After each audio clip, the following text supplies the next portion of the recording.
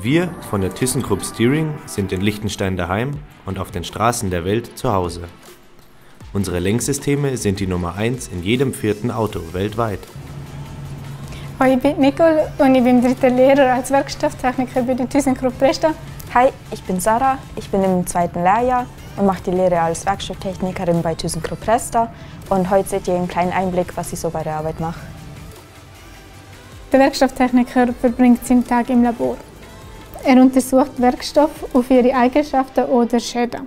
Er führt zerstörende und zerstörungsfreie Prüfungen durch. Dazu dokumentiert er all seine Ergebnisse und entscheidet so, ob das Material für die Produktion geeignet ist oder nicht. Die Proben werden getrennt und eingebettet. Dann werden sie mit der Schliff- und Poliermaschine geschliffen und poliert. Anschließend werden sie geätzt und unter Mikroskop ausgewertet. Ich ermittle jetzt anhand der Zeichnung die Härte. Das Bauteil wird später im Auto verbaut, deswegen muss man wissen, ob es hart oder weich ist. Je größer der Abdruck, desto weicher das Bauteil. Die Lehre als Werkstofftechniker dauert dreieinhalb Jahre, inklusive einer sechsmonatigen Spezialisierung in Wärmebehandlung. Wir haben Blockschule, somit verbringen wir jeweils zehn Wochen in einem Schülerwohnhaus in Wien.